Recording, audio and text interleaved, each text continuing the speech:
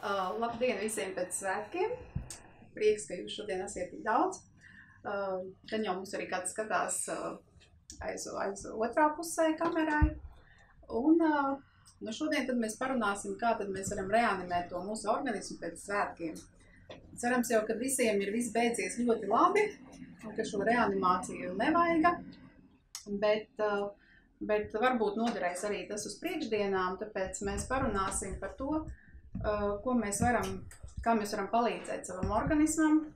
Un tagad ir arī tāds zīmīgs laiks, kad ir tāds, ja mēs jaunajā gadā tā kā sākam tādu jaunu dzīvi un, un, un, un nospraužam mērķus un kaut ko gribam sākt un darīt, tad tagad ir pagājis tas pusgads, kad atkal mēs tā varam saņemties un, un saprast, ka, nu, nu nesanāca tad, bet nu, tagad mēs varam tad sākt to darīt. Un katrā ziņā Eh, rūpēties par savu organismu, sākt to darīt, nekad nav par vēlu. Un, eh, un svarīgi to, to apzināties un saprast.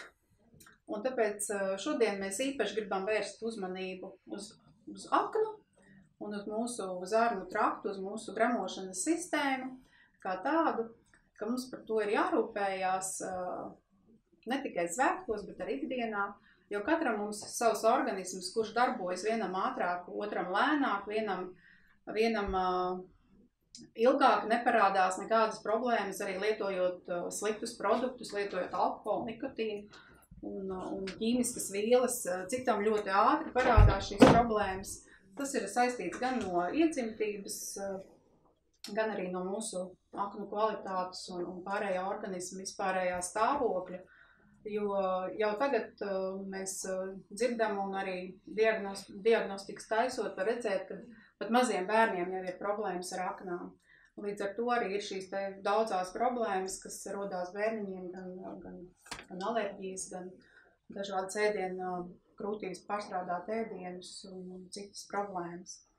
Bet nu tad sāksim lekciju un sākumā tad es pastāstīšu par aknu, par tās, par tās lomu mūsu organismā par uh, lielākajiem tiem, tiem izteiktākajiem simptomiem, kas norāda par to, ka akna mums nav kārtībā un kā tad mēs varam viņu arī savest kārtībā. Jo, protams, skaidrs, ka pēc vienas Jāņu kārtīgas nakts līksmošanas, kurā ir ne tikai dejas un dziesmas, bet uh, tiek lietot kārtīgi ēdiens un, un, un, un dzērieni, ja, mēs uh, vienā naktī sabeigt nevaram, bet uh, tas, tas notiek ilgstošā procesā. Līdz ar to ir jāsaprot, ka arī mēs visu to atjaunot nevaram vienā dienā. Ja? Tā kā tas ir tāds ilgs, ilgāks process.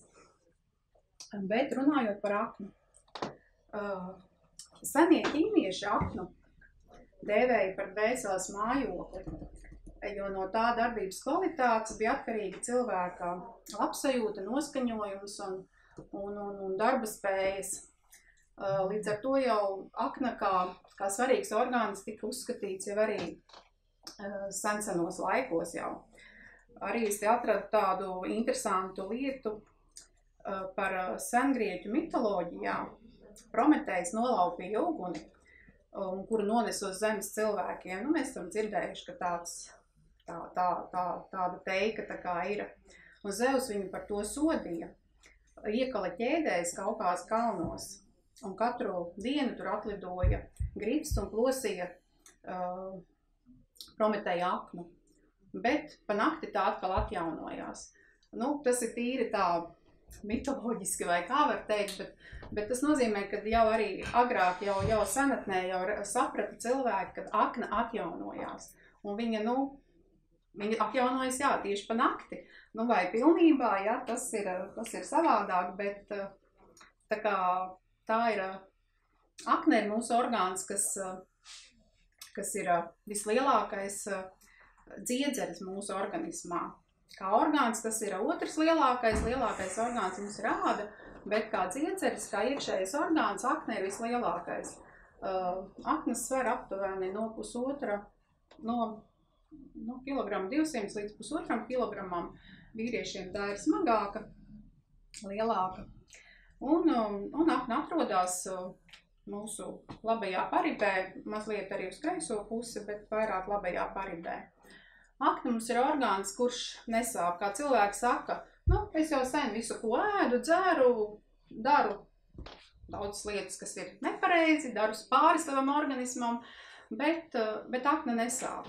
Jo, kā saka, akna mirst klusējot. Uh, bet jāsaprot, ka akna ir ļoti svarīga mūsu organismā. Tā ir mūsu ķīmiskā laboratorija. Tā ir tā, tā tas ir tas orgāns, caur kuru mums dien, diennaktī izplūst no, pus, no uh, pusotru tūkstošu līdz diviem litriem asins, līdz di, diviem, diviem tūkstošiem litru asins. Jā. Minūtē caur aknu izplūst mums viens litrs asins. Tas nozīmē, ka tā ir ļoti, ļoti liela slodze ar mūsu aknai. Un šī te caurplūda notiek nepārtraukti. Protams, ja mēs apēdam ko, ko ar ķīmiskajiem piemaisījumiem vai, vai, vai dzeram dzērienus ar ķīmiskiem piemaisījumiem, krāsvielām, vai to pašu alkoholu lietojam, vai, vai, vai smēķējam, uh, Līdz ar to mūsu aknē ir dubulta slodze, tāpat tās arī lietojot ķīmiskus medikamentus. Tā ir liela slodze mūsu aknai. Viņai jāstrādā papildus, jāpieslēdz filtrācijas funkcijas, lai varētu attīrīt mūsu asinis no šīm te kaitīgiem piemaisījumiem. Un viņa, viņai šīs caurtece kļūst lēnāk. Un tas nozīmē, ka, kad aknā, ja viņā ieiet šie te iet cauri plūst šis te viens litrs minūtē, tad uh, viņš uh, izplūst, uziet uh, kā ar, caur akni iet venozās asins. Venozās asins mums nāk no, no lejas. Ja mums akna nevar izfiltrēt mūsu asinis, tad viņas tālāk jau aiziet tikai, varētu teikt, kāds puslitrs šajā minūtē. Pārējās asins mums paliek organismam lejas daļā. Līdz ar to visas šīs problēmas, kad mums veidojās vēnu varikoze, tūskas, hemoroīdi. Par hemoroīdiem būs īpaša lekcija mums pat nākošais mēnesis, 9. jūlijā. Tā kā variet to ņemt vērā un tur stāstīsim tad tieši, tieši par to. Veidojās šīs te problēmas un tas ir saistīts ir ar asinsvadiem, ar asinsvadu stiprību, ja, jo, jo tur ir nepieciešams asinsvadiem šis te kalogēns un ko arī izstrādā mums akna. Līdz ar to akna mums, tātad akna mums attīra asins no kaitīgām vielām, Aiz, aknā arī aiztur dažādus metālu nu, piemaisījumus, kas mums ir, ko mēs nu, uzņemam caur ādu, kas mums nonāk asinīs. Bet arī šie visi metāli mums uzkrājās aknās, līdz ar to mums aknas ir jātīra. Aknas no asinīm asinīs esošajām aminoskābēm spēja veidot citas aminoskābes, vai arī pārvērst tās par taukiem vai ogļhidrātiem. Aknas veido žulti. Žults mūsu organismā ir ap pusotru litru.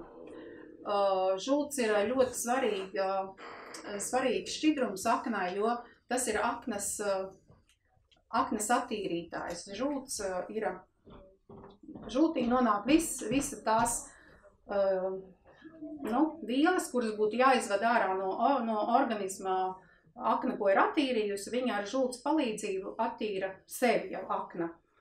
Un tāpēc ļoti svarīgi ir lietot mums ūdeni pietiekošā daudzumā, lai būtu šai žultī no kā veidoties, lai viņa būtu pietiekoši šķidra un varētu, varētu veikt šo savu darbību. Jo žults, žults pH līmenis ir 8,8 Viņa, viņa ļoti sārmaina, un viņa ir visrūgtākais, visrūgtākais šķidrums mūsu organismā, kas arī dezinficē mums, mūsu zarnu traktu. Šajā tā žultī vēl. Žults mums ir vajadzīga, lai sadalītu mūsu, mūsu visu uzņemto tauk, taukvielas, ko mēs esam apēduši. Un, ja Ja mums ir mutē tā kā žults garša, tas nozīmē, ka mums jau ir aizdambējušies šie te žults izvadu kanāli, un šī žults nonāk mums jau limfā, un līdz ar to mēs arī mutē varam just šo žults garšu. Rūkta. Nu jā, rū, rūkta, jā, rūkta. Jā, viņi nav, nu, viņi nav tā kā dedzinoši, bet rūkta. Žūts arī parazītus pārstāvē. Mm -hmm. Jā, nu dezinficē. Ja nav laba akna, tad arī sanāk ļoti ātri var tiem parazītiem. Viena ārā, otra iekšā un vajadzētu. Nu jā, jo viņai tas rūgtums un tas stiprums ir tas, kas arī var tā kā uh, likvidēt šos te parazītus.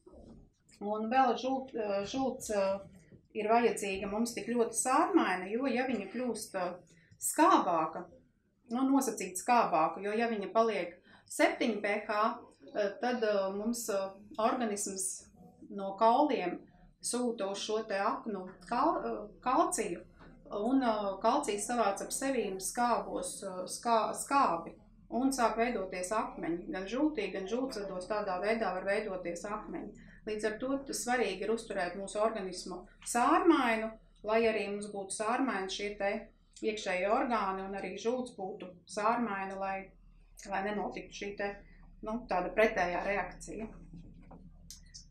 Apnijā, apnā arī veidojas urīnvielas no asinīm nonākušiem indīgajiem amoniju saturošiem sāļiem, kas radušies sašķiļot olbaltumvielas. Nu, pašu urīnvielu izvada mums uh, nieres.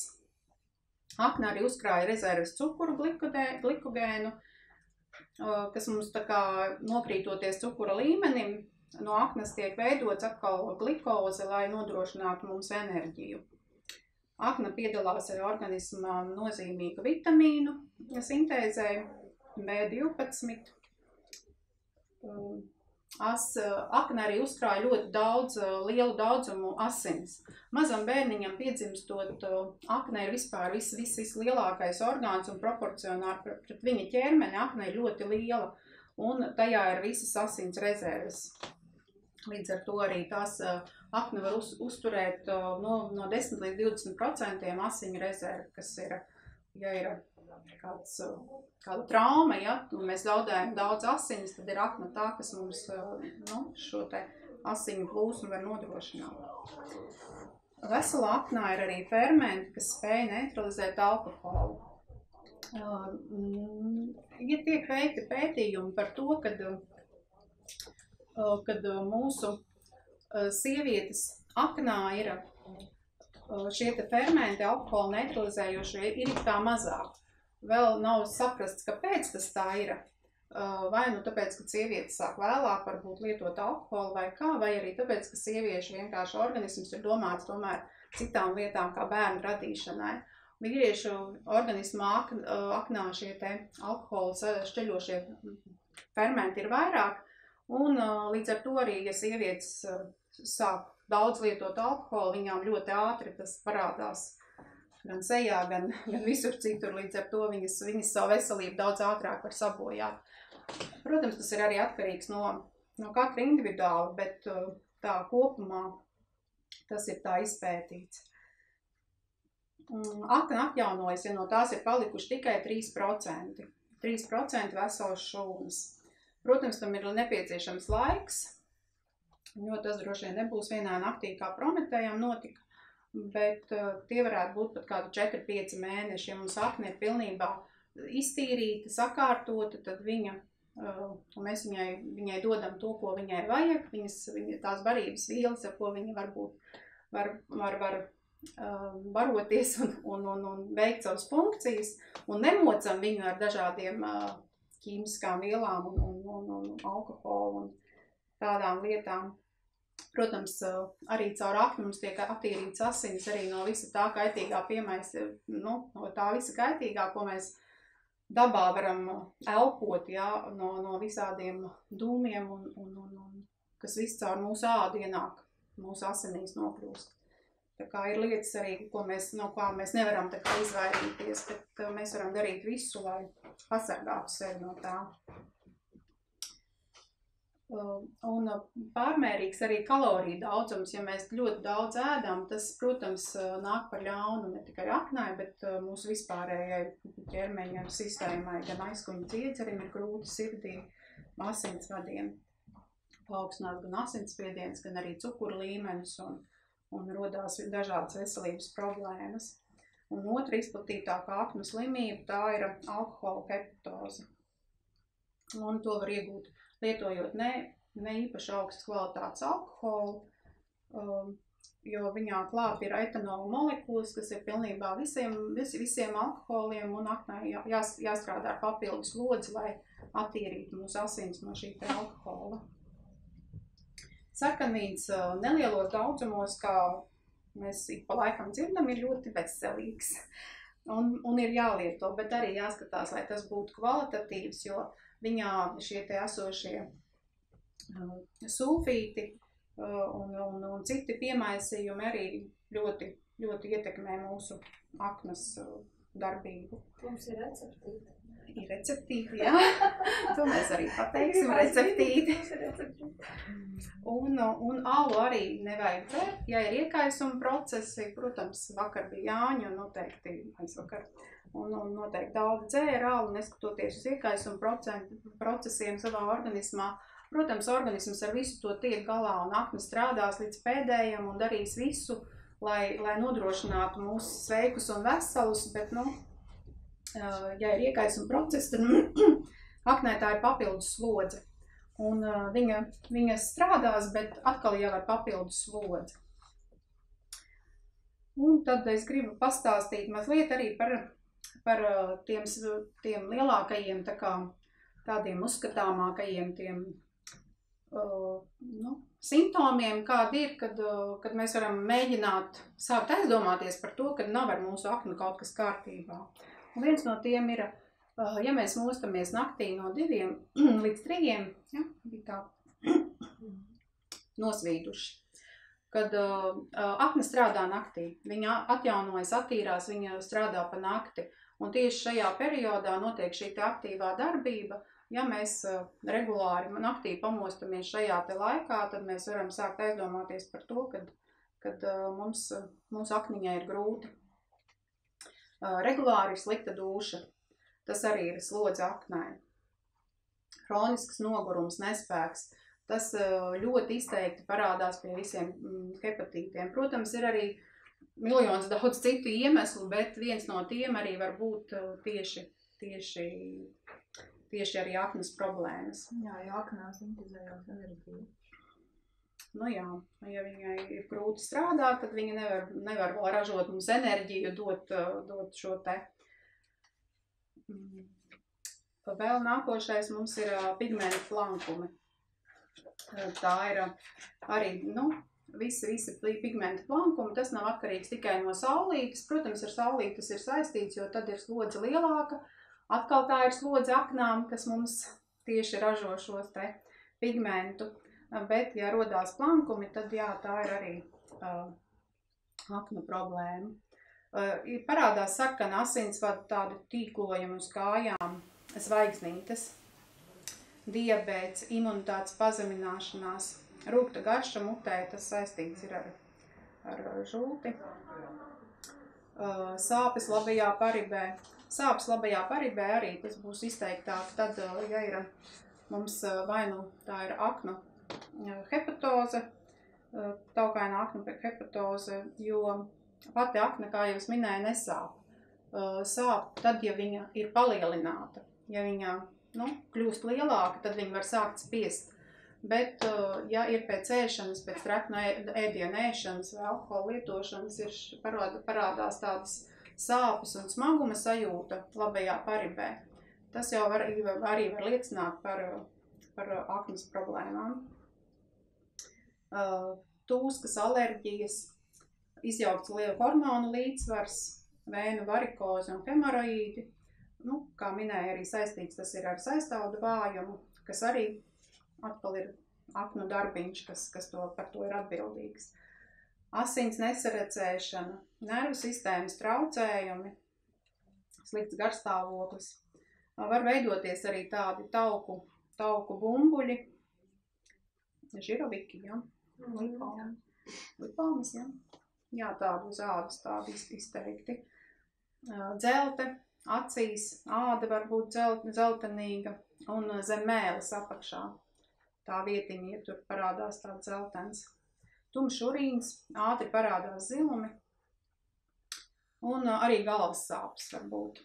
Arī jā, tad, ja nestrādā. ļoti izplatīta problēma. Cilvēki jā, jo domā, es pat... kas man ir tur migrēna vienkārši, un kā var būt? Ne? Jo es arī esmu pārliecinājusies, ka man vien kaut kad galva sāpēja, es arī vienkārši nogulos un ritīgi izmasēju nu, žultspūsli un, un, un, un te to visu vietu. Un pārgāja. Pārgāja, nesāpēja vairāk galva. Tā kā. Un sportistiem ir ļoti labi nodarboties ar sportu, bet tāds liels un tāds mežonīgs sports mums ļoti, ļoti uh, bendē mūsu aknu jo mūsu organisms saskāpst, veidojas pienskābi muskuļos, un no šī, šis te viss nonāk mums asinsritē, un atkal ir aknējas lodze un jātīra šī te asins no tā visa. Līdz ar to tā ir, tā ir papildus slodze, līdz ar to sportistiem noteikti ir jāizdomājas par to, ka ir regulāri jātīra akna un jārūpējas par aknas veselību. Tā, Uh, nu, tad uh, ar ēdienu mēs arī varam sabojāt, protams, mūsu aknu ilgstoši, ilgākā laika periodā lietojot ēdienus ar, ar ķīmiskiem visādiem piemaisījumiem. Es pati, kad, kad vēl nebiju koraļu klubā, es ļoti, ļoti mīlēju ēst marinētus ēdienus. Man ļoti, ļoti garšoja visādi marinēti salātiņi, pati taisīja pilnu pagrabu rudeņos. Un, Un, protams, arī to ēdu gan pati, gan, gan visi mani ģimenes locekļi. Bet, uh, bet nu skaidrs, jā, ka uh, tas ir, tā ir ļoti liela slodze aknām. Un, nu, nu, tad no vienas puses liekas, kāpēc uh, mums tas organisms neziņo ātrāk par tām problēmām, lai mēs ātrāk varētu, varētu tikt ar viņām galā, bet, bet nu, viņš, ir, viņš ir pacietīgs un, un cīnās ar visu arī vietā, nevietā lietojot medikamentus. Tās arī ir uh, praktiski visi ķīmiskie, ķīmiskie medikamenti, ja ķīmiskās zāles, tā ir slodze aknām. Un uh, šī te aknas tiek pārslogotas un no toksīniem noblaķētas. Rezultātā arī tad var veidoties šie te paši žults, žultsakmeņi un problēmas arī ar žults izvadi var notikt. Un arī par žultspūsli runājot, žultspūšļu operācijas eh, Latvijā ieņem otro vietu pēc apendicīta operācijām. Tā kā, nu, ja liekas apendicīta operācijas tādas, kas laikam patiešām ir ļoti daudz, ja, tad, tad nākošās jau ir žultspūšļu operācijas, bet izoperējot šo te orgānu, mums ir, nu, mums ir pēc tam problēmas rodās jau tālāk ar zarnu traktu un, un, un ar visām tām lietām, lai mēs pārstrādātos ēdienus, jo jo žults, eh, akna žulti izdala vienalga, viņa izdala to žulti, bet, ja nav žults pūšļa, tad mums nav vieta, kur šai te žultī uzkrāties un, un tālāk, lai viņi varētu mums uh, izdalīties tikai tajā mirklī, kad mums ir ēdienas, ko pārstrādāt. Viņa visu laiku mums tek no aknas, un līdz ar to viņai nav tas, nav, viņa nav tik stipra vairāk mums. Tā kā labāk, kad mums visi orgāni ir iekšā un veseli. Jā, un īstenībā tā žultspūšu griešana, tas ir tik jau jaunām, jauniem cilvēkiem, ka pilnīgi šoks, ka nāk tā kā uz konsultāciju, kas tev vainas, man nekas, man tikai žultspūšas izgriež. Nu, jā, div, man ir bijis jāmetā 20 gadīgi meiteni. Drausmīgi vienkārši. Tik nazi rokā un tik šņipkā laukā visu sargā. Mm, jā. Vēl, vēl, protams, mūsu aknu apdraud arī vīrusi vīrusi, gan arī, kas, kā, kas izsauc hepatītu, aknu iekaisumus, un arī tārpi, lamblijas, opistorpi, sēnes un baktērijas. Uh, tas viss arī var būt mūsu aknās, tāpēc, uh, tāpēc vai nu mēs uh, ejam taisam sonogrāfiju, kur mēs varam uzzināt kaut ko par mūsu aknu, ja nākam pie mūsu speciālistiem, kas arī var taisīt diagnostiku un pateikt, vai arī paši vienkārši ņemam un tīram organismu, jo, jo nu skaidrs ir, ka mums ir jātīra organisms. Un, un ja mēs esam to darījuši kaut kad pavasarī, tad nu, tagad mēs atkal varētu pēc tāda neliela laika to, to atkal sākt darīt. Un tad par tādu pavisam īsu pirmo palīdzību, ko mēs, kā mēs tad varam savām aknām palīdzēt. Protams, tas ir lietojot koraļu ūdeni, koraļu kalciju liekot iekšā un dzerot šo te dzīvo ūdeni, jo, jo mums ir organismam nepārtraukti nepieciešams uh, šķidrums un arī nu, tāpat, lai veidot to šūts, mums ir nepieciešams šis te ūdens. Ēdam regulāri, vismaz trīs reizes dienā, uh, tādu labu veselīgu ēdienu, kur nav klāta ēvielas un krāsvielas, uh, lietojam olbaltumvielas, piena produktus, olas, gaļu, zivis, sautētus, tvaicētus, neapceptus, protams, kurš tad jāņos neēd šašliku, bet, eh, bet arī to var pagatavot dažādi un, eh, un var arī, var arī savādāk, savādāk jāņus svinēt. Un, protams, arī ar vienu reizi, ja mēs rēdīsim to cepto gaļu, nekas jau, nekas jau nebūs slikts uzreiz. Un regulāri jātīra savs organisms.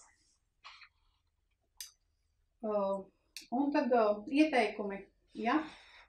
Pirms svētki pagāja, bet varbūt rītā jau kādam ir nedēļas nogalē, kā jādodās uz svētkiem, tad pirms svētkiem mums ir, uh, pirms iešanas uz pasākumu, mums ir tāda laba recepte, kā mēs varam uh, nu, sagatavot savu organismu uh, ballītei, ja mēs zinām, ka tur būs, nu, ēdīsim dažādus ēdienus un, un arī iespējams lietosim alkoholu, tad mēs uztaisam pandetoksu, pandetoks vienu stiku, uh, kurmas dzēriens tāds ļoti garšīgs.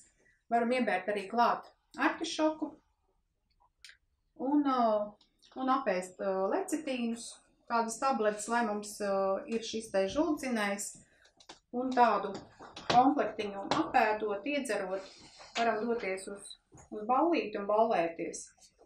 Kā jau Velga minēja arī, ko mēs varam darīt ballītes laikā, mēs paņemam izlietotos, paņemam šos te jau, jau izlietotos maisiņus, ko mēs parasti jā, mēs ārā nemetam.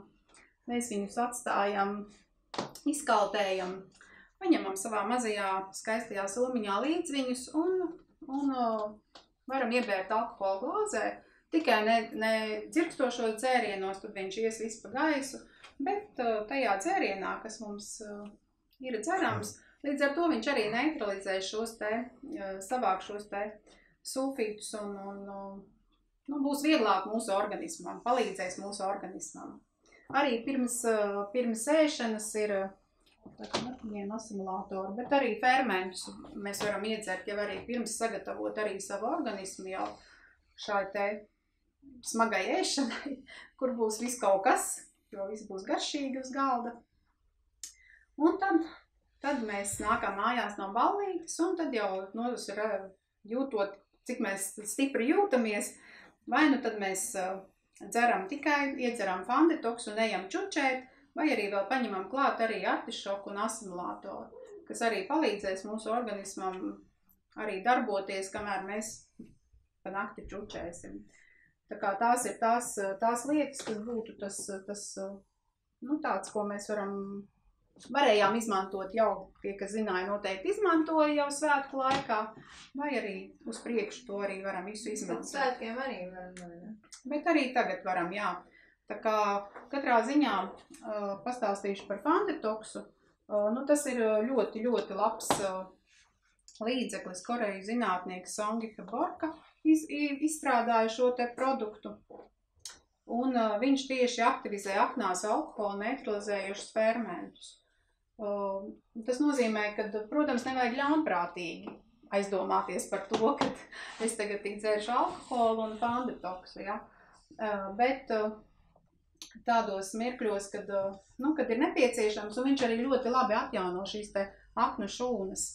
Tāpēc viņš ir viens no tiem, ko patiešām, ja ir šīs aknu problēmas, tad var lietot vai pat divreiz dienā vai, vai vienreiz vakarā, tā kā, un, jo viņā ir iekšā hurma, goģi jogas, kas palīdz arī žults izvadēji, citrus augļu miziņa, griķi, sojas olbaltums, C vitamīns, taurīns, arī kas uh, ir žults izvadēji ļoti labs produkts. Un, jā, attaisam vaļā, ieberam glāzē, siltā ūdenī, izmaisam un dzeram kā tādu garšīgu tēju. Man pat tur nekas neprasās cits likt klāt. tā kā, tas ir tāds produkts, ko vajag ar mājās turēt, lai viņš ir, un, un viņš palīdz arī, ja ir tiešām kādas galvas sāpes, tad arī to var iedzert un, un, un, un savu organismu palīdzēt aknai, līdz ar to arī vispārēj savam organismam. Nu, tas būtu tā kā par aknu. Tā varbūt vilcienos. pārdaks, varbūt var vai burdaku. ne? Jā, jā. Nu jā, jo, jo tā. Tie arī Artišoks. Artišoks un burdoks, jā. Tāpat arī zaferāns. Zaferāns arī ļoti labs žūdzinējs. Eh, Tur ir kurkums iekšā. Un tās tie ir tie produkti, kuri ir aknai, aknai sniedz palīdzīgu roku pie, pie dažādām noslodzes problēmām. Un, protams, ar ilgsto, ilgstošākā laikā lietojot viņus, mēs varam organismu atvesaļot. Bet, eh, protams, ir jāņem vērā, ja mums ir šīs te uh, vīrusi, tad mēs lietojam arī silvermaks, uh, dzeram iekšā, un arī pie tārpiem mēs dzeram ķiploku, tas ir jā, ķiploks vai opistops, lai attīrītu savas aknas no tārpiem. Un tad, kad mums viņas ir attīrītas, tad jau mēs varam pēc tam pabarot ar, ar šiem te produktiņiem. Bet, nu, ka, katram individuāli jāskatās, jārunā ar savu konsultantu, un tad šo te aknu var kārtot. Bet pirms kā sākam kārtot aknu, pirmais jau mums būtu jās, jāsakārto mūsu zarnu trakts, lai, lai sāktu šīs te atvesaļošanās. uh, Pirmais jau ir jābūt tīram zarnu traktam, un tad uh, tālāk paralēli ejam un, un, un ķeramies klāt zarnu traktam. Un par zarnu traktu mums pastāstīs vēl.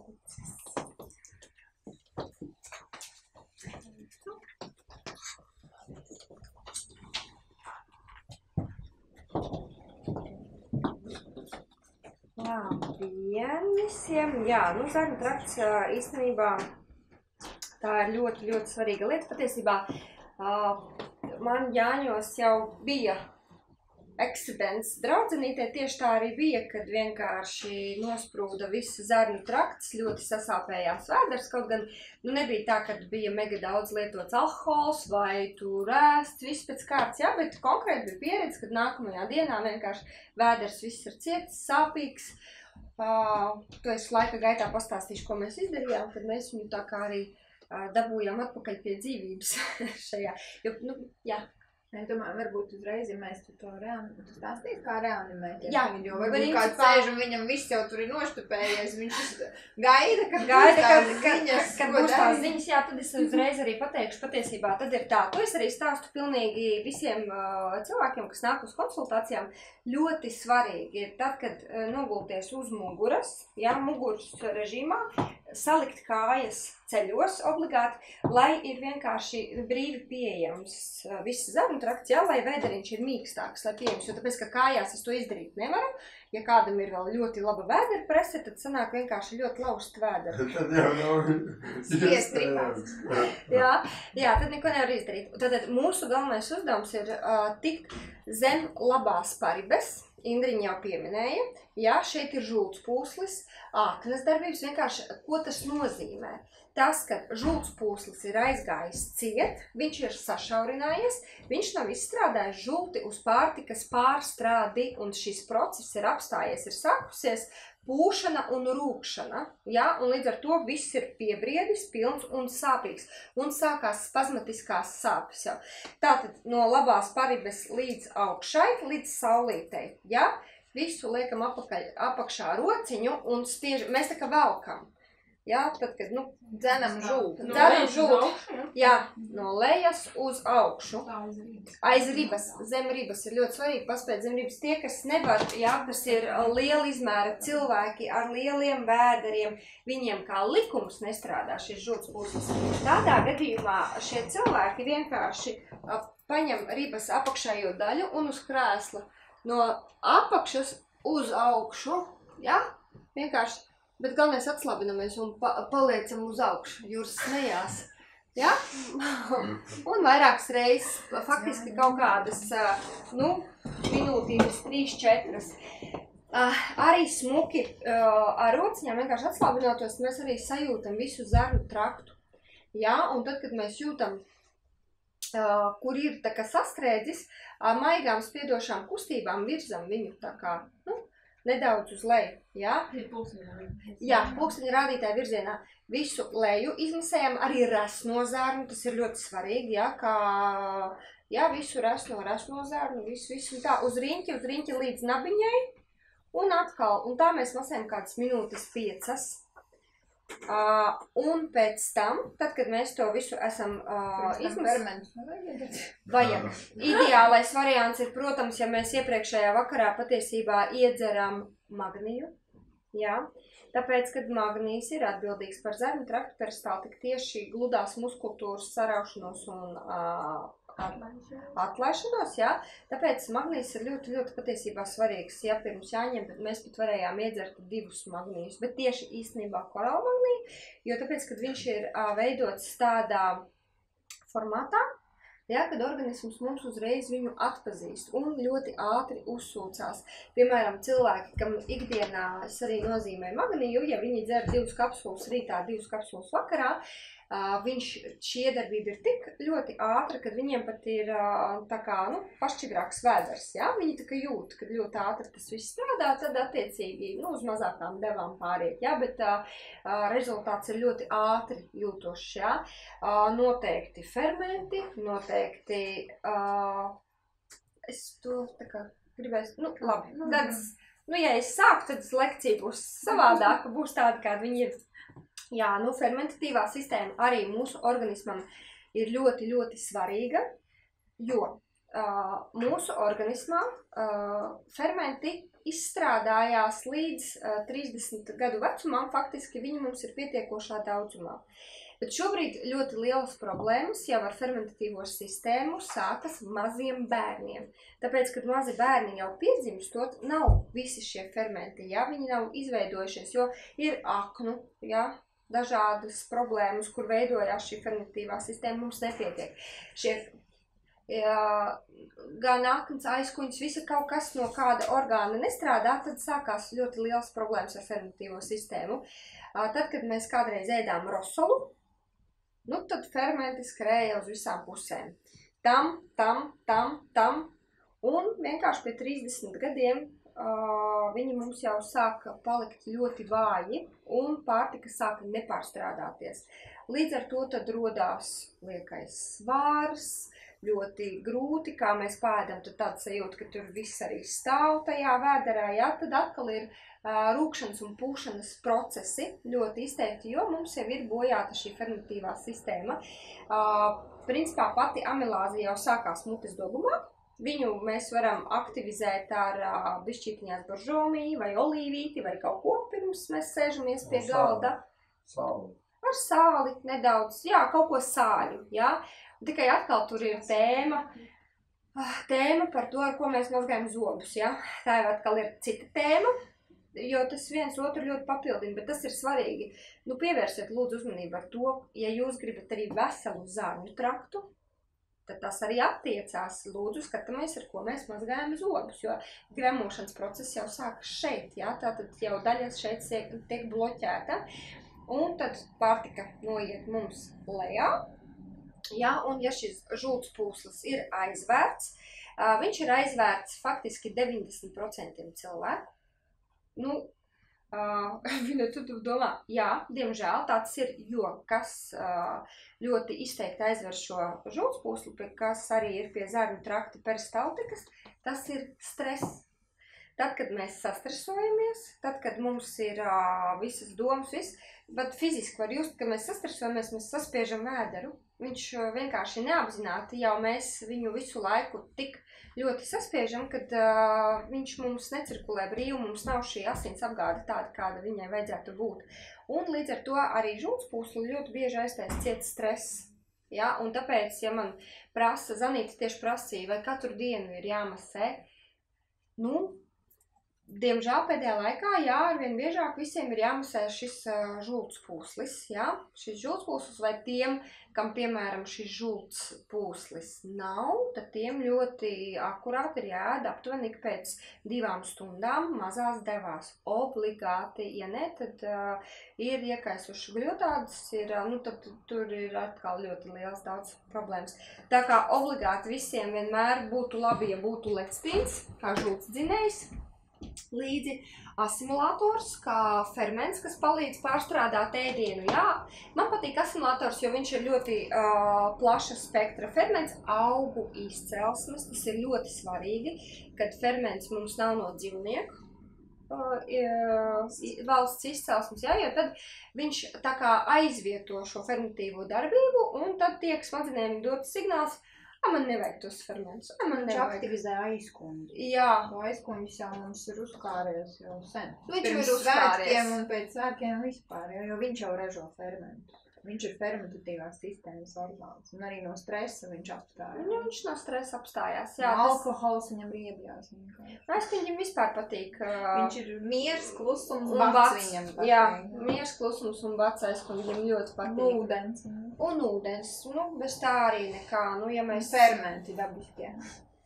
jā, ja mēs esam aizmirsuši pa jāņiem, neesam dzēruši ūdeni, bet esam tikai peldējušies ūdenī, jā, tad sākam dzert ļoti strauji ūdenī, jo tāpēc, ka tāpatās mums arī ir šie ceļi, kā mēs uzņemam toksīnus, un viens no šiem ceļiem ir uh, tilpnis, kur mēs peldamies, jā, tad tur ir uh, dažādi vienšūņi, baktērijas, kas iekļūstot, uh, vai mēs nirstam vai kā, vai netīšām ieejam šo ūdeni, viņš smuki mums arī nokļūst zarnu traktā un sāk savu uzdzīvi, jā, kad arī tāpatās uh, filtrējās caur aknām vai um, sāk bojāt visu šo zarnu traktu, un līdz, jo daudz vienkārši neaizdomājas, kas tad tur tāds, es tur papeldējos, kur problēma. Bet organismam ir problēma pie novājinātas imunitātes, jā.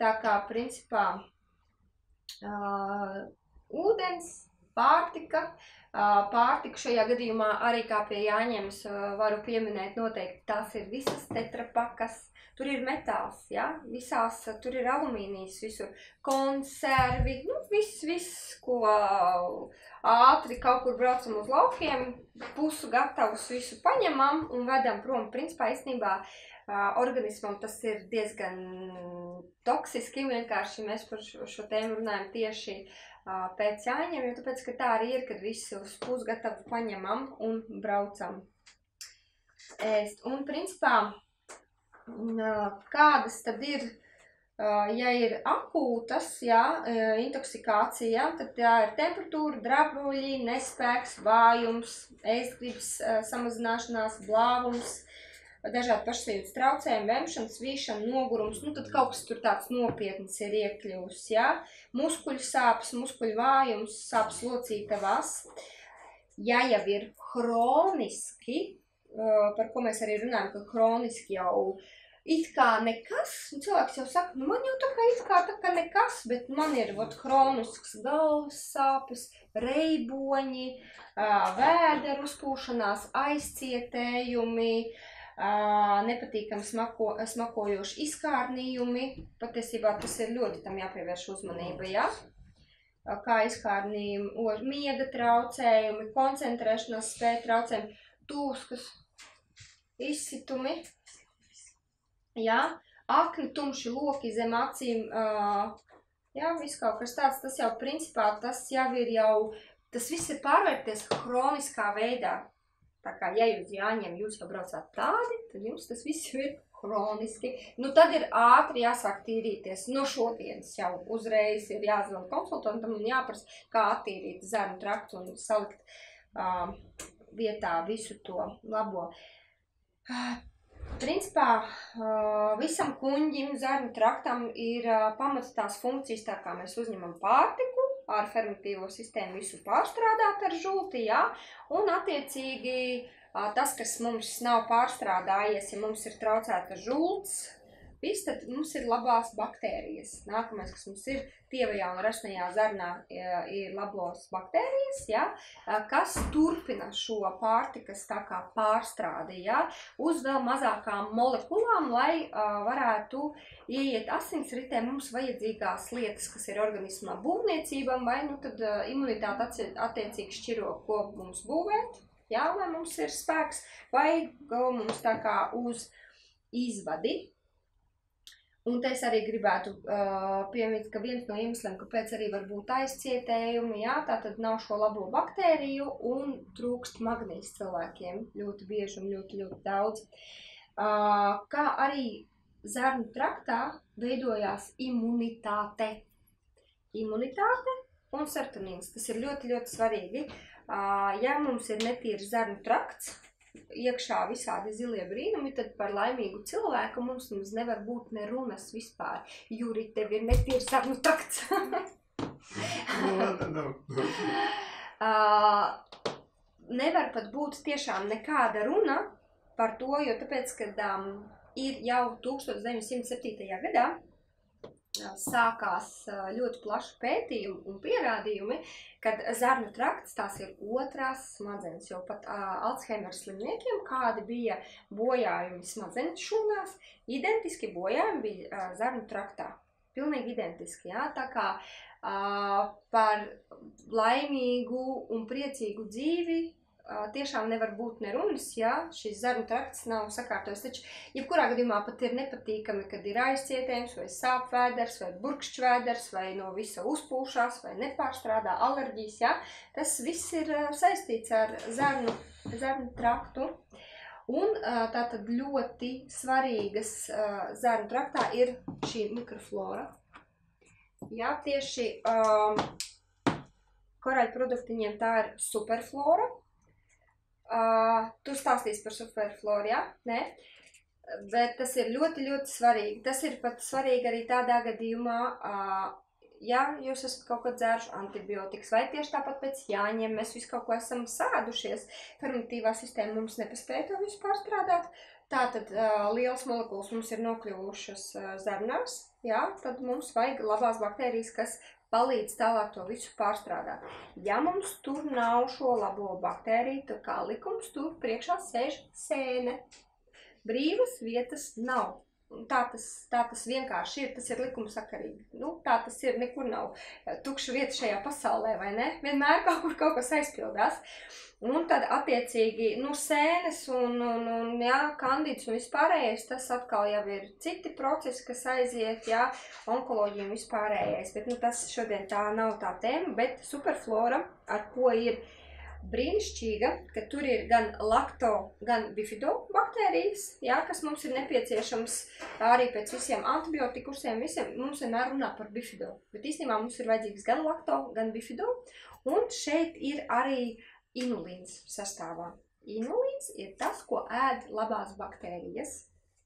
Jā, tā kā tas ir ļoti, ļoti svarīgi labām baktērijām, jo viņas īstenībā ar pēc 30, 40 viņas neiedzīvojās tik ļoti labi, kā gribētos. Viņas uh, ir diezgan grūti. Patiesībā manā skatījumā, kad uh, superflora jādara visu laiku. Jā. Visu laiku. Jo, Non-stopā. Non-stopā, jā. Vai caurēji vai aizcietējumi uzreiz viņas iet bojā. Sastresojāmies, aiziet bojā. Ieejam pirtī, viņām arī nepatīk. Viņām vispār nepatīk nekas, ko mēs darām. Mm -hmm. Viņām nepatīk. Un, un, un jā, rēdienas ar viņām riedījās, ko Jā. mēs ēdam, jo mēs parasti ēdam to, ko viņas nēd, un tad viņas vienkārši ļoti ātri pazūd. Jā, viņas ļoti ātri pazūd, un principā viņas jau pazūd maziem bērniem, bet mums jau vajag šīs labās baktērijas, jā, mums vajag, lai viņas mums ir ā, ļoti skaistā formātā, jā, viņas visas smukas, smukas. Jā, viņas jau arī ir tās, kas reāli pārstrādā līdz uh, gala, uh, līdz Jā. galam to ēdienu. Jā. Ja viņu nav, tad mēs nevaram vispār neko cerēt. Tieši tā, no, ja viņu nav, un ja te ir dažādas, ja te jau iet arī pa taisno ir ā, asins rite, jā, asins kapilāri. Jā, visi asins vadiņi šeit ir galvenā, visa asins rite. Un ja mums nav šīs aizsarg, mūsu smukais tepiķītis, Vinets par strādu video, viņš ir, nu, tik skaistas, tādas kā tepiķītis. Un, ja tas skaistais tepiķītis nav, tad uzreiz tā draziņa, ko mēs ieēdam, ja, uh, tur gaļa, hamburgers, visas ēvielas, E621, ja, pat taisno mums ieiet asins ritē. Un tādā veidā īstenībā ļoti daudz veidojās uh, alerģijas. Tā ir lielā molekula, kas ir iegājis pa taisno asinsritē. Asins, Aptaukošanās. aptaukošanās, viss, jā, un lai uh, asins, mums organisms ir uh, fenomenāli gudrs, viņš glābi mūsu dzīvību, viņš vienkārši caur rādu to visu izstumj ārā, jā. Ja nieras akmens vēl nav labā kārtībā, tad attiecīgi uzreiz. Jā, vai nopako smuku uz vēderu. Jā, nu es tā simbolu. Var jau tikt, var pakot. Visu pako. ar rūtīm uz celulītā. Nu, vat dušus pako, te augšstilbus kājas pako, ja? Katram ir sava tā vieta, katram cilvēkam organismā ir sava vājākā vieta, un attiecīgi arī uz to pakošanu. Tad, nu, jā, ja mēs arī runājam par lieko svaru, tad parasti, kad mēs gribam tikai notievēt, bet ja mums ir liekais svars, tad tam ir pamats kaut kāds, kāpēc viņš ir. Nu, lūk, tā kā, lai mums būtu visas šīs baktērijas un lai mums visas tās izēvielas ļoti labā formātā ieietu, ja mūsu asinsritē apgādātu mūs visus, ja, jo āda arī nu, mums barojās pēc atlikuma principa, ja, tāpēc tas pamats, lai mums būtu skaista āda, ir zarnu trakts, bez tā nu nekā, ja, tāpēc arī tas ir ļoti svarīgi. Uh, ko es noteikti, diemžēl, es neesmu paņēmusi, bet uh, es noteikti ieteiktu patiesībā, es pati šobrīd tā daru, kad es neēdu vakariņas, bet es dzeru uz nakti četras superfloras uh, un dzeru kokteili high fiber. Uh, jo kokteili high fiber ir viss uh, nepieciešamais, tur ir inulīns, tur ir šķiedrvielas, uh, tur ir viss nepieciešamais mūsu zarnu traktam, lai mūsu zarnu trakts viss strādātu, atjaunotos, ja, un, un, un, un lai viss viņam ļoti labi notiktu, un arī tajā pašā laikā, nu, pludmales sezona. Taču daudz kas tīmā kungā jāierīvējās. Jā, kā tu skatos, taču krokus citī hall. Jā. Jā, tā atklāja manas kārtas. Nu Jā, no rīta es dzeru kokteili uh, Daily Delicious, kas ir uh, vitamīni visam organismam, jā. Kalogēns, versel kalogēns, kas ir uh, viens no labākajiem, kas ir, uh, jā, un es ēdu tikai pusdienas, un vakarā atkal high fiber dzeru tikai. Un patiesībā es varu pateikt, sajūtas ir fenomenāli brīnišķīgas, jo tu esi paēdis un jūties ļoti, ļoti labi. Tas tāda maza atkāpīte no tēmas. Tā par otrajām smadzenēm jau es pastāstīju, jā. Uh, principā, nelasīs, lai var parādīt citiem, ko tu dzer. ko es dzeru? Vēl Jā. skaistuma receptes Jā. pirms krokus citī hall. Pirms Krokas City Hall. Nu, pat, īstenībā, nu, vēl es varu pateikt pie tām, ja mēs runājam par skaistuma receptēm, uh, es vēl varu pateikt, ka uh, ūdens, protams, H500 daudz un pentakāns. Jo tik ļoti uzlabojās visa mikrocirkulācija, jā, un, un, un, un ļoti bieži šobrīd ir uh, laukā, ir karsts, ir silts uh, un rodas šīs tūskas, jā, kad ja vajag visu smuki savās vietās, lai ielīstu kleitās un uzstātos Maskavā. Nu, īstenībā arī pēc svētkiem, es domāju, tā var recepte ir ļoti labs tāds vienkārši atslodzes brīdis mazliet tam kuņģim, jā, nabadzīņam, tām zarnām, pareizi. Pareizi. vienkārši divreiz dienā iedod tādu tīru šūnu uzturu, kas pie tam tev uzlabo to mikrocirkulāciju, to ādas stāvokli, viņš ātri uzsūcās, gremošanas sistēma vienkārši bišķiņ tā kā atvēl kalpu, aizkuņģīts atpūtās. Tieši tā. Mhm. Vakariņas un brūkas. Vakariņas un brokastis, jā. Dēlī delicious kokteilīte šeit ir vienai Ar ko tu ēdienreizītei. Uh, nu, es jau parasti, kad eju, tad es eju uz pilnu banku, es faktiski ar ūdeni taisu. Es taisu ar kefīriņu, ar baigi aizrauties. Pēc jāņem ir tīpaši ar pienu nevajag aizrauties. Nē, nē. Uh, bet vajadzētu ar kefīru, jā, ar kefīru, jā. Uh, Zemu traktam ļoti, ļoti patīk kefīrs. Ar kefīru, tad uh, nu šeit ir faktiski uh, jā, selēns, magnīs, foliskābe, vitamīns A, C. Uh, šeit nav cukurs. Jā, Fermentētās olbaltumvielas. jā fermentētās olbaltumvielas, ir stēvī, viņš ir salds un garšīgs. Viņš ir nu, ļoti patīkami viņu baudīt. Jā, šis ir vienai reizītei. Ar lielo paciņu Ā, Mīļākā garša.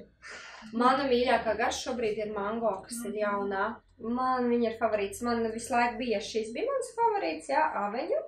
Bet ir kam, kas grib kaut ko garšīgu un dēļ sēnes nevar atļauties ēst bulkas un vispārējo, tie ņem šokolādes garšu un saka, pilnīgi pietiek, ja tu esi to morālo prieciņu dabūjis, tu esi paēdis un viss ir kārtībā. Jā, ir arī vaniļas un jaunā šobrīd ir Tur mango. nav kaitīgais. Jā, tur nav kautīgais, tur ir stevija. Jā, tur ir tikai stevija. Tā kā, jā, arī proteīni faktiski ir pilnīgi viss organismam, kas ir nepieciešams. Jā. Jā, vienai ēdienu reizē. Patiesībā tas pat būtu krietni veselīgāk nekā nu, mēs jau nevaram sakombinēt to vienu ēdienu reizi. Jā, jo ir šūnu uzturs matrica, 28 aminoskābes, vitamīni, fermenti, taukskābes. Jā, nu, nu, tikai no tīra ēdiena Man Jā. dzērs sporta. Kāpēc? Jā. Ja grib uh, uzaudzēt arī uh, muskuļu masu, Jā. jā, muskuļu masa ir kokteils pēc sporta. Skaista āda, viss te uzreiz viņš ir šūnu viņa atpazīst, šūnu viņa pieņem, viss Locītās. Jā, jā, tā kā viss ir principā uzreiz. Un uh, high Vakariņas. tās ir manas vakariņas. High fibers, viņš ir tāds garšīgs kokteilīts kā ķīslīts. Uh, sastāvs ir brīnišķīgs arī. Es visu no galvas neatceros, jo es nu, neesmu, bet es viņu. Man patīk tā sajūta, kad ir, tu esi paēdis, vēders labi jūtās un viss ir kārtībā. High fiberam sastāvu. Tur bija baigi daudz visādas arī Jā. šķiedra vielas, kas baro Es tūlīt tās pateikšu. to apnes un puito zarnas ā, mikrofloru visu to. Saremontē, man liekas, bojotās tos. Es atvainojos par tādu pauzi, tūlītās, tūlītās es pateikšu. Tik var to.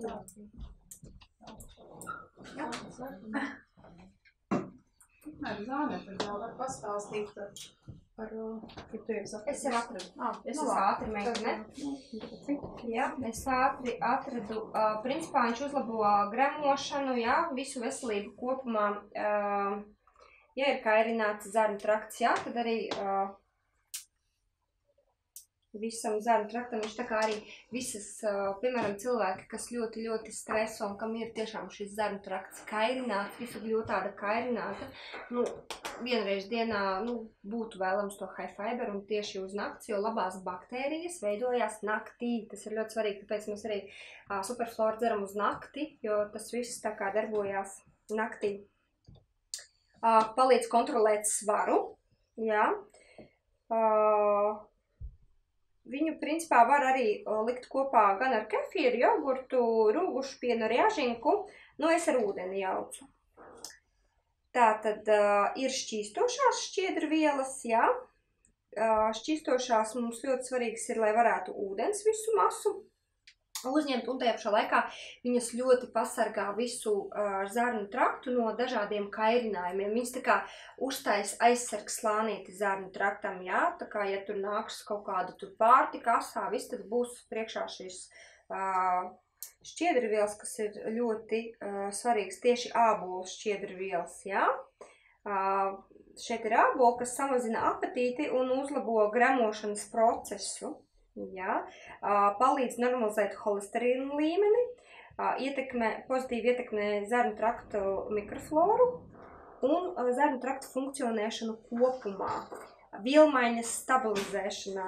Jā, tā kā holesterīns tas arī ir ļoti uh, svarīgi. Un uh, attīra organismu viegli un maigi no kaitīgajām uh, vielām, tajā pašā laikā neizjaucot mikrofloru. Tad ir inulīns sastāvā, jā, uh, kas ir dažu augu saknēs. uh, tieši high fiberā ir no cigoriņa saknes inulīns izmantots.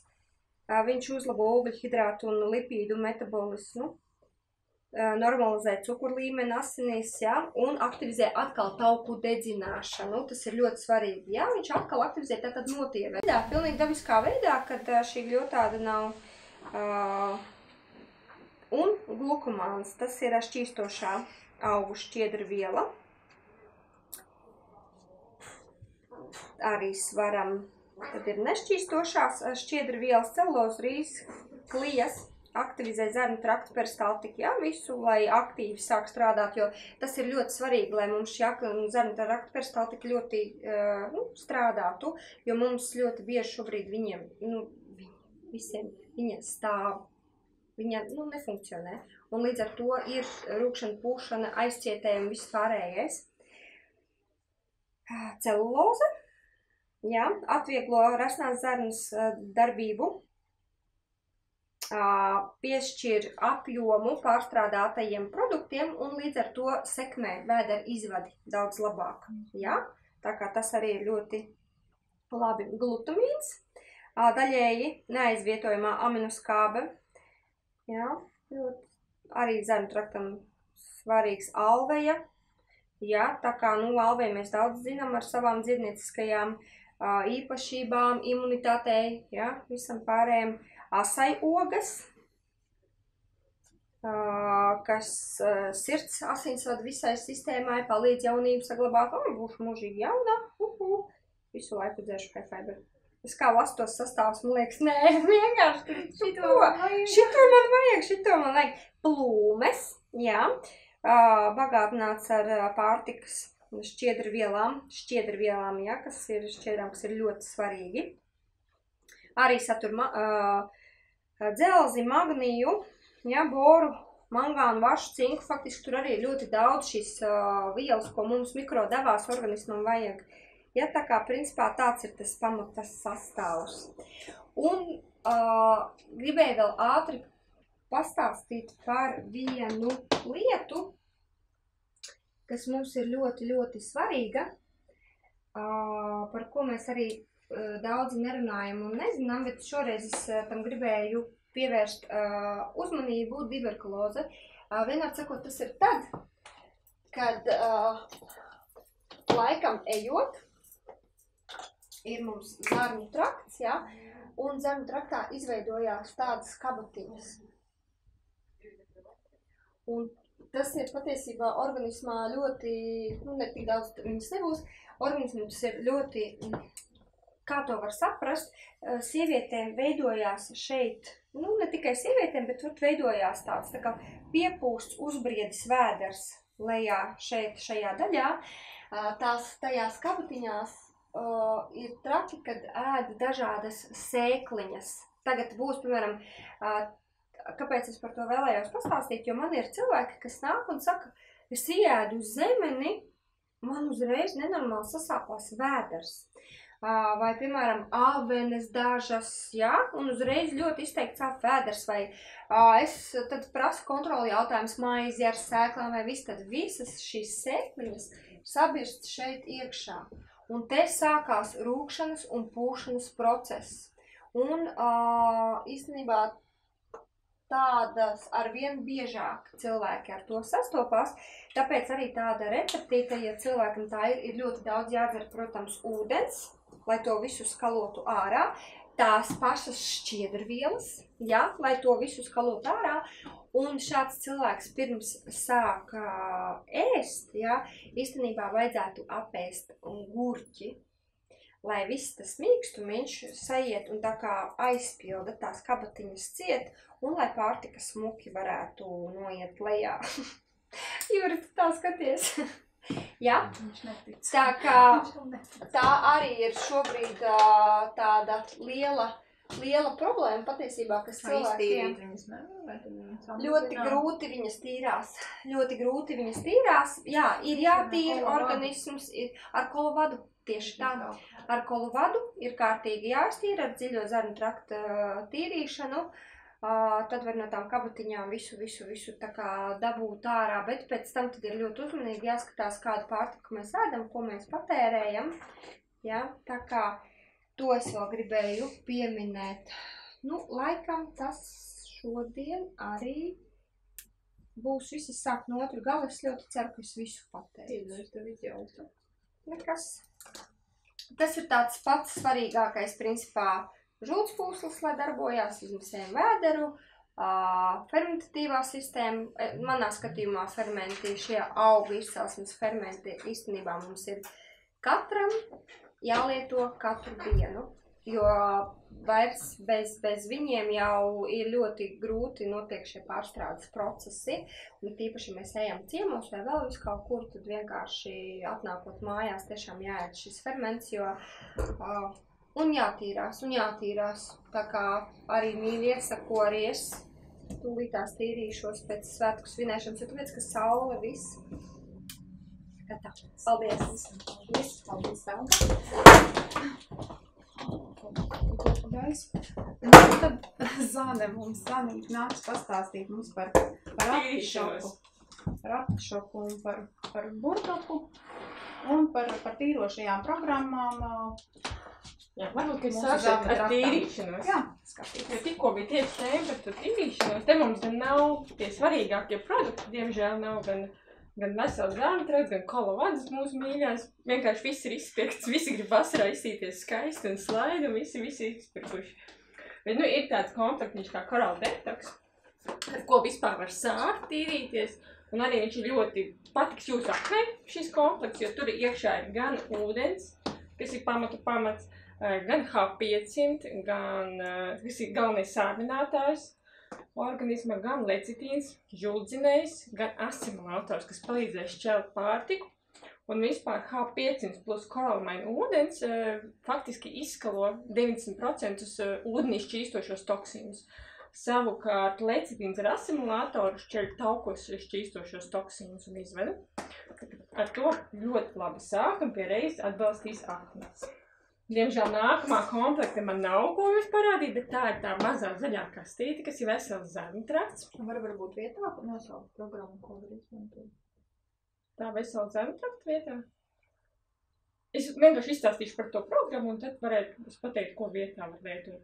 Tad, tad eh, tur ir vispār, es domāju, ka trīs taču būs, pēc nebūs. Tad tur vispār ir 18 dažādi produkti. Ļoti, ļoti, manuprāt, finansiāli izdevīga kastiņa, ļoti vērtīga. Un tā ir paredzēta 30 dienām, tieši tāpat kā uh, korāla detoks.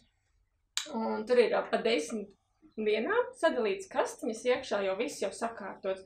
Tur ir gan ūdens, gan labās baktērijas, gan kas atbalsta nieres, gan kas aknas atbalsta, gan artišoku, gan uh, lucēnas.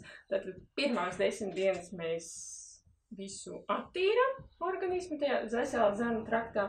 Nākamās desmit dienas mēs visu aktivizējam. Un trešajā posmā mēs visu normalizējam. Un faktiski tas tāds, tāds ļoti maigs un patīkams process. Es atvainojos. Tā, mm, tā tad, eh, un tad var ķerties pie kolavādas, bet uzreiz mēs pie kolavādas nekad neķeramies. Un uh, aizmugurē to pociņu mēs pielūdzu. Jā. Aini ar ūdeni. Spaina ar ūdeni uzgās miers. Aizmugurē pociņu, aizmugurē uz vāciņu. Viss. Tātad, un kolavāda. Re kā mums iztraucēja viens zvans.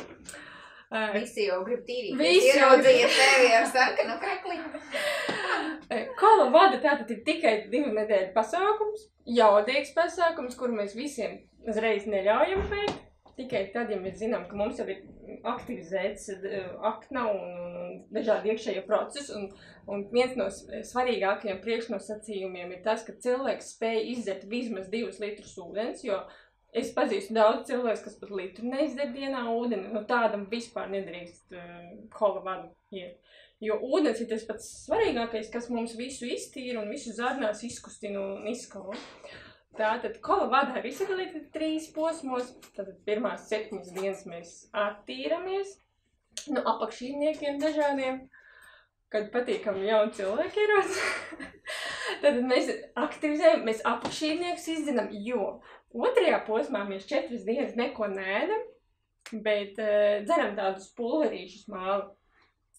Un, bet uh, mēs to nēdam, bet vai mūsu apakšīnieki ir uh, sarunājām, ka mēs nēdīsim. Jo faktiski tāpēc vien mēs pirmās uh, septiņas dienas attīramies no dažādiem parazītiem un cēnēm, lai viņi tajās četrās bada dienās neizdomātu sākt ēst mūsu mūsu orgāns ielīst vēl dziļāk aknā un, un ievirties. Un tāpēc mēs darām visu secīgi. Tad mēs attīram tos, um, attīramies, pēc tam mēs riktīgi dzeram tos mālu pulverīšus. Un, un tu jau no, nodzēsi to zīmēm. Tie māli ir tu unikāli, ka viņi e, iedzirot, viņi uzbriest un viņi no bārkstiņām zarnu izvelk visu ārā un izstum visus. Ja tur vēl kaut kas ir aizķēries, viņš izstum ārā arī tās sēkliņas, kuras Jāli tikko pieminēja. Tāpēc vien tās četras dienas ir fantastiskas, mēs arī ļaujam organismam atpūsties no, no vispār no pārtikas un pašam organismam sevi sakārtot visu, visu aktivizēt, ko vajag aktivizēt, un ja gadījumā kāds vīrus vēl aizķēries, vēl to ņemt, un pats organisms viņš viņu saķers un sagrimos un izvedīs. Un tāpēc tam vēl atlikušās trīs dienas mēs atkal atjaunojamies ar, ar labajām baktērijām, ar fermentiem, vitamīniem. Tā ir tāda 14 dienu jaudīga programma. Tas ir par attīrīšanos. Bet faktiski tagad to produktu nav, bet noteikti var sākt ar tādu pavisam maigu attīrīšanu. Tas varētu būt melnais rieksts ar ķiploku. Fermenti noteikti fermenti attīro, attīrošanās programmās jābūt. Nav neviena fermenta, ko parādīt. Laksmaks. Ir ideāls īstenībā produkts laksmaks. Viņš tik smuki mīkstina zarnu, traktu, tur ir sena un melnais rieks, skudru koks. Viņš ir tur tāds tieši zarnā, viņš tā palīdzēs. Un viņam, man liekas, iekšā bija tas burdoks, mārdedis, kas ir mazliet raknu atbalsta. Jā, jo attīroties noteikti vajag atbalstīt aknu, jo mūsu organismam tā ir liela slodze. Ir īpaši kolavāns lēkā. Es tam parasti dzeru artišoka tēņu, lai gan pēdējo kolavānu ejot, man vispār neprasījās nekādas tēņas, neko, bet pirmajās reizēs es jūtu, ka, ka, ka tas ir nepieciešams. Uh, tas ir tā pārtīrīšanos. Faktiski jājautā saviem konsultantiem. Es domāju, ka katram... arī obligāti jāliek klāt. Jā, attīroties. Tas ir, nu, Katram mēs esam tik individuāli, tāpēc sastādīt tādu universālo programmu tagad visiem diezgan bezjēdzīgi. Vēršieties pie cilvēkiem, kas raida tiešraidi. Jā, un kas tīrās regulāri, kas to zina, kas ir izdzīvojuši, kas, kas var izstāstīt. Jā, un galvenais, visas tīrīšanās lāka noteikti dzeram daudz, daudz ūdens. Bez tā vienkārši nekas netīrās ārā. Tas ir par attīrīšanos. Un tagad es par aknu diviem fantastiski pašiem produktiem, manuprāt, ļoti vērtīgiem. Es sākšu ar, ar burdaku, jo tas burdaks ir šeit iekšā. Tātad burdoks, bet mēs viņu vairāk zinām tautā kā mārdedzi vai piena dadzi, jo piena dadzi vairāk pat tiek savs, jo viņš veicina laktāciju. Nu, manuprāt, un to jau senatnē mūsu senči zināja šādu, šādu augu. Tātad viņš vispār ir fantastisks ar to, ka viņš normalizē un vienkārši uzlabo aknu darbību. Tas ļoti patīkams. Plus mārdedz lieto tie, kas grib novājēt, jo viņi veicina vielmaiņu un palīdz šķelt taukus kā tādus. Faktiski tie, tie kas vājētāji, lūdzu mārdedz ar lietojumu. Plus vēl nezinošie sēņotāji, kabatā, jums ir mārdedz, jo jūs gadījumā saindējaties ar sēnēm lielisks produkts vienkārši pie dažādām vispār saindēšanām lietot. Kāds pat minēja par to, ka no aknu tas, tas galvenais ir gadījumā saindēs, vienalga, tās ir sēnes, klors vai, nu, jebkās arī alkohols ir patiesībā mums inde. Mm. Tad mēs lietojam aknu produktus. Tātad uh, mārdedzim vēl ir forša lieta, ka viņā ir iekšā inulīns, par ko vēlga stāstīt. Tātad vairāk kā 35% tieši mārdeģa saknē ir inulīns. Uh, kas eh, tad, tad baro mūsu labās baktērijas zāļu traktā. Plus uh, inulīns, manuprāt, ka tas stimulē insulīnu izdevumu žultpūslī. Tad mārcis vēl, viņš ir antiseptisks, viņš kavē patogēno baktēriju augšanu un attīstību zēnu traktā, liekot vietā tad šo inulīnu, lai, lai augtu labās baktērijas, kas arī patiesībā viens no priekšnosacījumiem, lai mums neveidotos liekais svars, lai mums tur viss labi pārstrādās. Tātad viņš mazina dažādas iekaisuma procesus, kas arī ļoti būtisks. Patiesībā iekaisuma process arī veidos tās kabatņas, patiesībā tāda patstāvīga iekaisuma mums vai ne zāņu traktā. Tātad um, viņš arī samazina vienkārši holesterina līmeni, ja?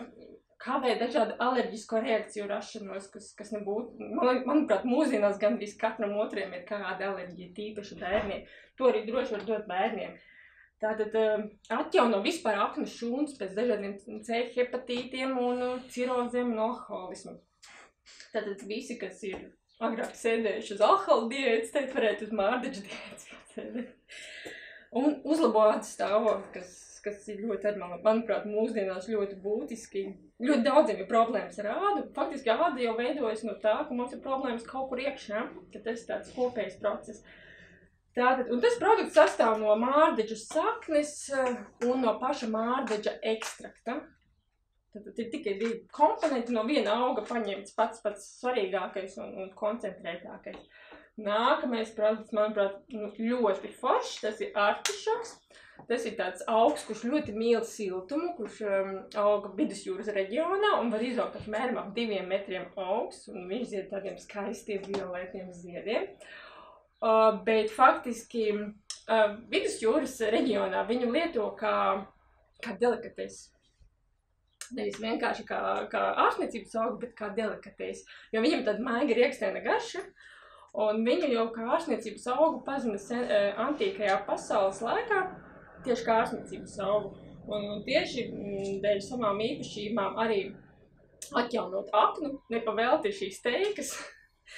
Un viņa sastāvā ir vairāk, ir gan šis uh, artišoka ekstrakts. Tātad tur ir um, betēns, mārdedis, kur jau es stāstīju, tur arī pienenes ekstrakts ir un uh, sasmalcināts korals.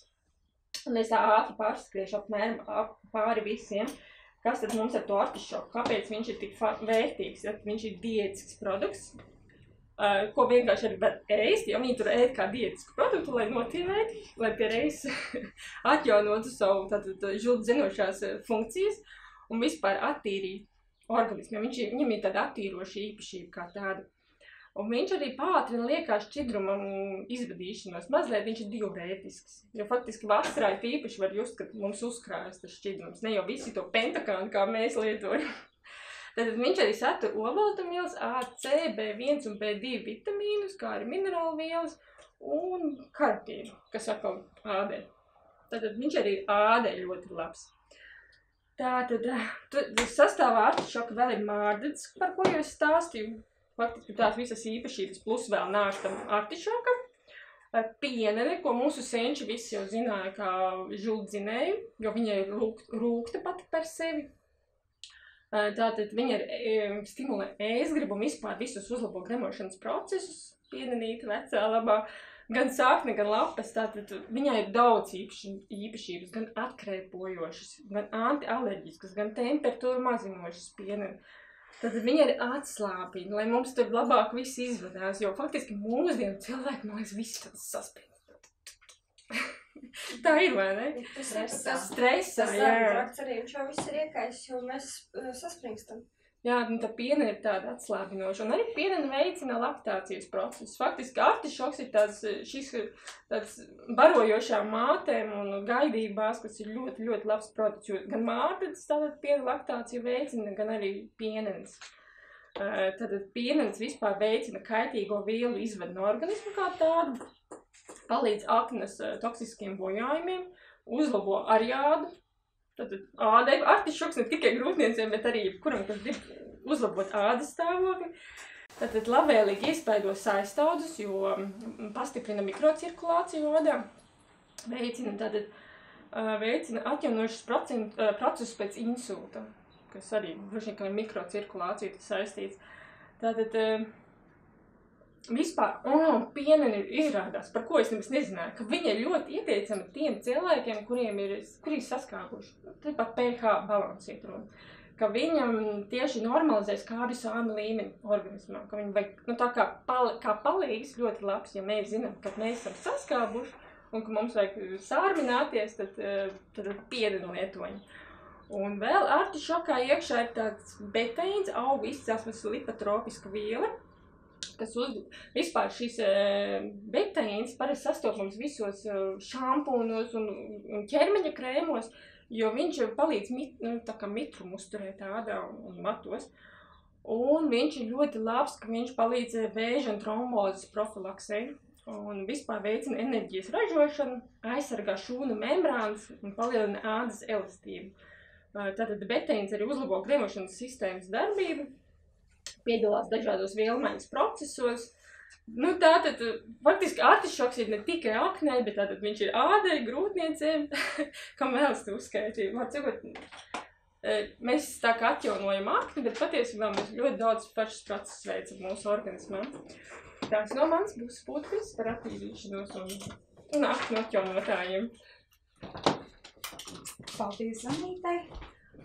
Paldies, paldies Velgai! Un, un paldies visiem, kas skatījās. Šodien bija mums tāda ļoti gara lekcija sanāca, bet es domāju, ka noteikti noderīgas lietas jūs varējāt sadzirdēt šodien.